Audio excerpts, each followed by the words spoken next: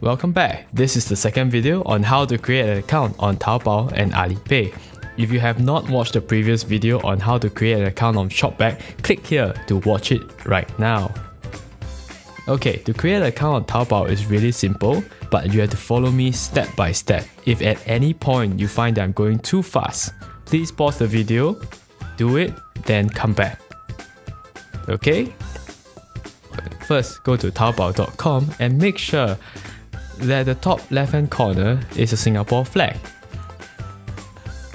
Then click the 注册 button on the top and you'll be brought to the registration page. There's a pop-up that will appear and click the red button.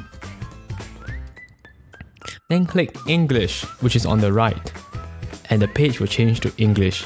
Enter your email, slide to verify, and input the verification code click submit, check this box and click next.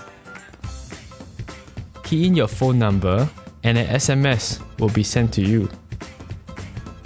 At this point, you may want to pause the video to wait for the verification code, after which you can resume. Enter the verification code, then click confirm. Once you've done that, a confirmation email will be sent to your mailbox so you need to go and check your email. When you go to your mailbox, you will see an email from Taobao.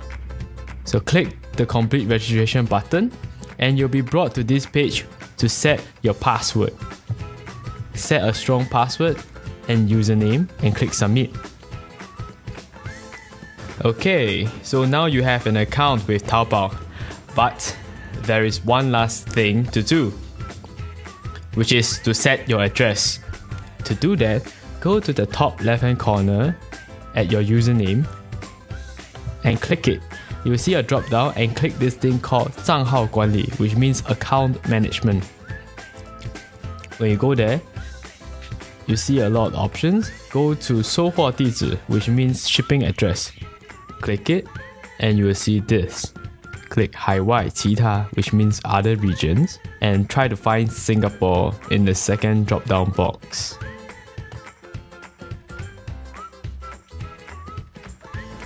Then key in your address and your phone number, but from my experience, you don't have to fill in the last one. Check the box and click the red button, meaning save. And there you have it, you have saved your address. Okay, next we will set up your Alipay account. You can set it up now or you can set it up later.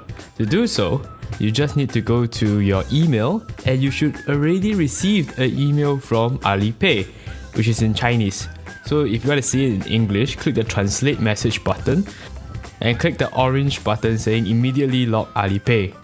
Go to Alipay's website and key in the same username and password as your Taobao account because they are created at the same time.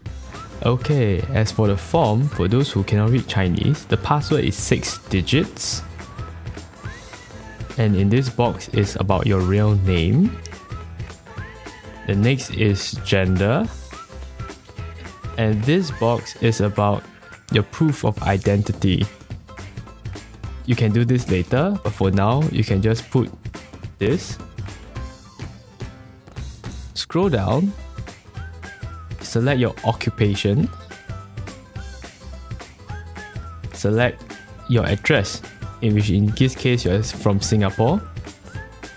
So click Hawaii and key in your address. Then click chatting. That's all. That's all you need to set up an Alipay account.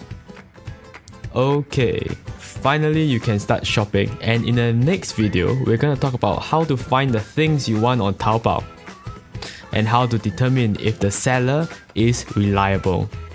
Click here to watch it now. See you in the next video.